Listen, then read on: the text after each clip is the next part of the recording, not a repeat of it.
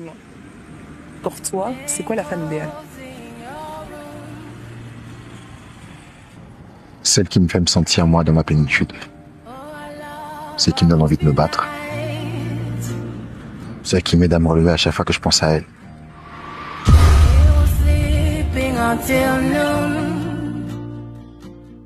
J'ai comme l'impression que tu es au bout de tous les sacrifices que cette fille a fait pour toi? Là, tu oses me dire que c'est sa troisième grossesse qui est là, ton blocus à toi.